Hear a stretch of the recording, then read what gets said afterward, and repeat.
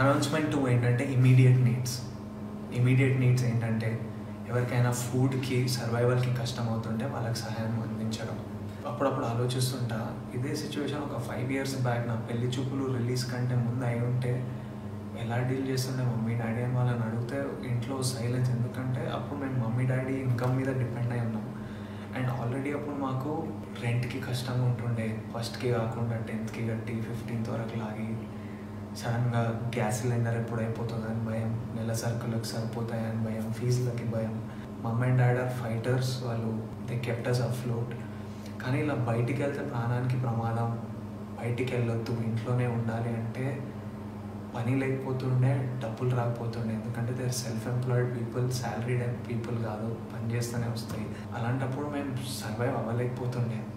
And నాకు తెలుసు మాలాంటి families lower middle class families ఎంతోమంది ఫ్యామిలీస్ అక్కడ ఉన్నారని ఎంతోమంది దీనివల్ల ఎఫెక్ట్ అయి ఉన్నారని.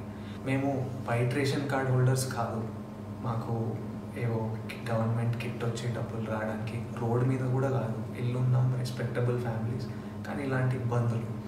అండ్ అట్ దిస్ పాయింట్ నేను మన గవర్నమెంట్ ఆఫ్ తెలంగాణని నాకు పర్సనల్గా వీళ్ళు ఏం చేస్తున్నారో చూస్తున్నా కాబట్టి ఇలాంటి క్రైసిస్లో ఈ గవర్నమెంట్ ఉండడం మనం చాలా సేవ్ చేసింది and they are doing such an incredible job I thank KCR garu for all the అంటే ఫుడ్ ప్రొవైడ్ చేయడం కిట్స్ ప్రొవైడ్ చేయడం వైట్ రేషన్ కార్డు హోల్డర్స్కి అకౌంట్లో డబ్బులు వేయడం మోస్ట్ ఇంపార్టెంట్ నెల రెంట్లు అడగొద్దని uh, ఆర్డర్ పాస్ చేయడం ఇవన్నీ చాలా హెల్ప్ చేశాయి.